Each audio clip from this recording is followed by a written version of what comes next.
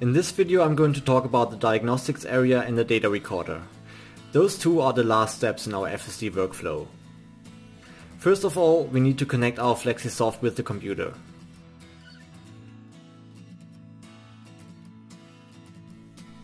Now let us begin with the diagnostics. At first, I want the newest information to show up automatically. Therefore, I'm going to activate the auto refresh via the settings button. With the refresh button, we could also update the information manually. To give you a better understanding of the diagnostics area, I'm now going to simulate a discrepancy error of the eStop. In this area, we now see the message of the discrepancy error. This is the window where all warnings and error messages as well as messages from the message generator function block are displayed. If you click on the error message, details are shown in the area beneath. In the toolbar of the diagnostics area we can adjust which kinds of messages are displayed by changing the filter settings. With a click on the show history button, errors will be displayed that are older but still stored on the system.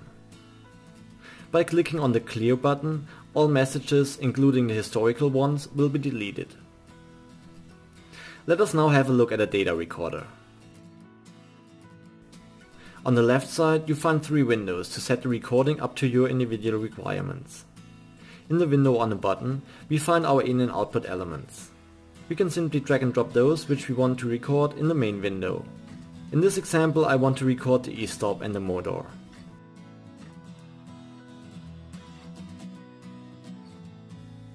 In the top window we can choose between the two recording modes. We can either record continuously or only if a certain trigger condition is fulfilled. If we choose trigger mode, we have to select the trigger channel and the condition. I decide to record continuously and to only store new values. Finally, to record data, the data recorder configuration in the device and in the Flexi Soft Designer must match. Therefore we have to write the configuration into the device by clicking the corresponding button. Let's start recording. If I press the e-stop, we can see that both recorded elements go to zero. Now I can find out how much time passed between the press of the e-stop and the shutdown of the motor. Therefore I add the marker by clicking the show height marker button. First of all I zoom in a little bit to see more details.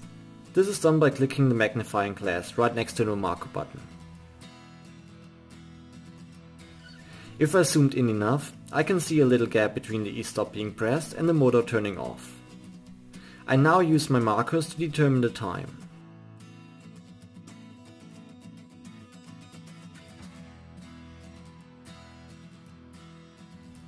In my example it is 4 milliseconds.